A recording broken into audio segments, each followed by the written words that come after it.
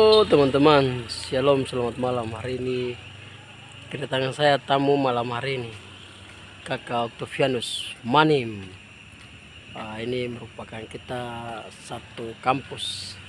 Hormat ya malah kita di kampus Kendari Universitas Lolo. Ini teman-teman saya nih, waktu kuliah Kendari. Kehutanan ekonomi. Dan kita hari ini ketemu lagi. Semoga kita pu hari-hari yang cerah bagi kita semua. Salam satu hati dan satu kompak. Tuhan berkati semua. Mantap.